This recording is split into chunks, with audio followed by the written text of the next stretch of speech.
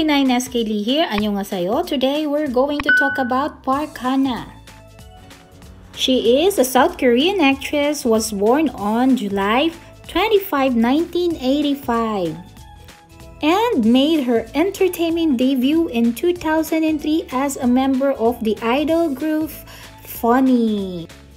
Since then, she has turned to acting and was in the lead role in Apgujeong Midnight Sun in 2014.